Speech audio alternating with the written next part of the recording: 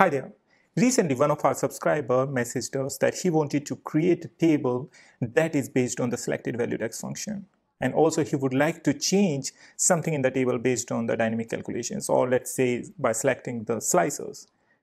But it was not possible. And he was getting a table, but still there was no data. Was that the same case with me? Or did I find something else? Well, if you would like to know more, please stay tuned with me till the end of this video. And if you are over here for the very first time, please don't forget to subscribe this channel and hit the bell icon so that you are up to date with all the videos and updates.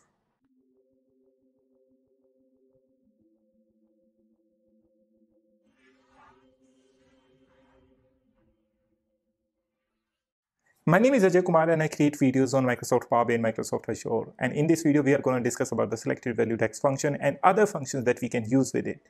So without wasting any more time, let's get started. Alright, now let's start with the functions that we are going to use in this video tutorial. In this video, first we are going to use the sumx. Sumx is a DAX function that is going to return the sum of an expression evaluated for each row in a table. This is similar to sum function, but in the sum function you cannot use an expression. Here you can use. The syntax is going to be pretty simple, where you have to use the sumx, which is your DAX function, then your table, and then the expression over here. After that, we are going to use the valued function. This function is going to return you the value when the context for column name has been filtered down to one distinct value only. You cannot supply more than one value at a time. Please do remember that. Otherwise, it's going to return you the alternate result. Syntax is also again pretty simple. First, you have to write the selected value, then your column name and the alternative result. what you would like to return over there. Now, coming to the last function, which would be your filter DAX function. Filter DAX function is basically going to filter the data that you are looking for. It returns a table that represents a subset of another table or an expression. So in this DAX function, you have to first write your table name and then the filter that you would like to apply. So that was the scenario where user is saying that I want to use a selected value and then also I want to return a table. So what was happening? Let me take you over first my data model. I'm using AdventureWorks 2012 data over here and this is my very pretty simple data model. This is based on star schema where I have fact internet sales table at the center and then I have dim customer, dim product and dim date table all around it. Now what I'm going to do, I'm going to create table using selected value DAX function and how we can do that? Well, I'm going to come over here to my data page over here, you would find this new table. So click on this one. So what I'm going to write over here, I'm going to write a very simple DAX expression over here where I'm going to create a table based on my gender selection. And there I'm going to use my selected X value function. Mm-hmm. So this is my pretty simple expression over here. And you would see it's showing me one error, but it's because I haven't put a comma over here. Now this is clear. So I have a customer table where I have a gender column. So what I'm saying that filter this and create a table where I can select the gender because I'm using over here this selected value DAX function which is going to allow me to select a value. So whatever value I'm going to select for the gender filter or slicer, it's going to return a table based on that. So I'm using selected value and my gender name over here. So let's select this you would find that table has been created and let me close it. So now you can see on my right hand side at the bottom, this gender based data table has been created and you will see all the column names and everything is over here. But now let's check whether really my data is there or not. So let me just close this and you would find that my table has been selected, but there's no data at all. So the one reason can be I haven't made my selection over there. So what I can do, I'll come over here I'm going to create a new page here. Let me select some of the fields quickly over there. It's just for the demonstration purpose, so please don't go into much detail over here. I'm just clicking anyhow. And since my selected value DAX function is taking gender from the dim customer table, over here is my gender. So I'm gonna create a slicer out of it. So let me create a slicer. This is pretty easy. So this is my slicer over here. But if I'm even I'm selecting male or female, none of the data is appearing. That means this table is not getting any of the data. However, irrespective of that, if I'm going to change my code over there, let's say if I'm over here and rather than selecting this selected value, if I'm going to select only male. So let's see whether it can populate some data or not. And now it's saying that my DAX expression is wrong, but why it's wrong? So let's check again. into the code. And over here it's because of this. So let me just delete this. And here you can see that all the gender related data is appearing over here. And even I'm gonna fetch this gender over here you would find this gender related data is there.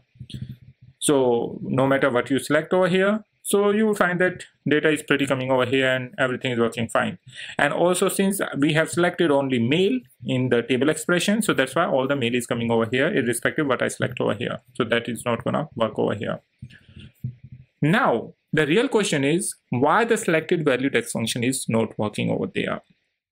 There's a reason for that. When you use the selected value DAX function, it doesn't work in this way. And please do let me know in the comment section as well, what are your thoughts over it? Why it's not working? But we can make it work. And how we can make it work? We have to use it with other DAX functions. So now what I'm going to do, I'm going to create sales based on my DAX function. How I can do that? So now what I'm going to do, I'm going to use another DAX function that is SumX DAX function and there I'm going to calculate the total sales for males and females and my value is going to change dynamically through this slicer. So let me just go over there and what I'm going to do, I'm going to create a new measure. So let me close this. In the fact table, first I'm going to create a total sales measure. Total sales. This is my measure and this is going to be sum of the sales amount. Now after that, I'm going to create another measure which would be of the gender based. So for that, I'm going to paste one very simple code over here. So let me go again there, over here. And this is my DAX expression where I'm using SumX. Then I'm using the filter of the fact tables where I'm saying related dim customer and same selected value DAX function I'm using here for the gender column.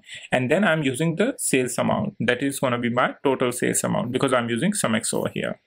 So this is the DAX function I'm going to use and this time it's going to return me the right results. So let me just select it over here or hit the enter button. So before going that, uh, so let me just get it over there in the overview. So this is the same page I just created where I can put my different measures in a formatted way.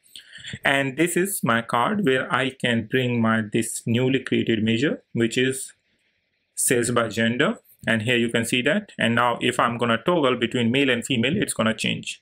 So you can see that clearly.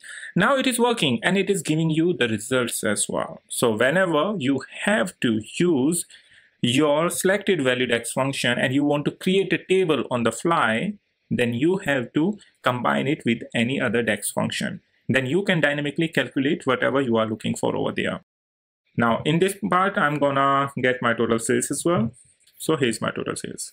Over here, you can see that my sales by gender is coming as the header over here. But if you would like to make the title dynamic as well, you can do that, which, which is very easy. So what you have to do, you have to format this one. To format, you have to come here. Under the visual, you would find the different options over there. So you have to go to the title one and here title, we are going to clean and we are going to paste a new value over here. But I haven't created that. So let me first create so in order to make it dynamic, we have to create a DAX expression. And for that, we have to go again here to the table. And there I'm going to create a new measure. So this measure, again, going to check dynamically if my selected value is my male gender or female gender and based on that it's going to return me a value. And so over here you can see that clearly if my selected value equals to male or m then it's going to say total sales by males. Otherwise it's going to be total sales by females. And you can customize it further if you would like to. Again hit the enter button or click on this select button close this one. And now I can go to this format pane. Over here under titles I can go to the expressions. Here you have to bring this field value and you have to select over here the measure that you have created. So let me get it here click ok. And now you can see that I have selected female. It's coming female. But before going that I have to stop this category label over here. Now male or female you can see the title has been changed over here. So this is my total sales and this is this one. But if you have noticed that my slicer is not changing this and it's only because of the interactive actions. So i selected this. I went into the format and here i selected edit interactions. With the help of this you can filter or not filter any other resource and where you can see that it's not filtering out over there. So that's the reason it's not filtering out. So guys what do you think? Are you going to apply it? Now do you have any idea why if i'm using only selected value DAX function and creating a table the table is creating but there's no data. Why it is not there and why it's working when I'm using with any other DAX function. I hope now you have clear understanding about selected value DAX function and how you can use it to create a table and even to create dynamic calculations. But in case you have any other topic and you would like us to create any more videos, please don't forget to comment in the comment section. And also, if you're looking for any of the Power BI trainings, please do let us know. See you in the next video.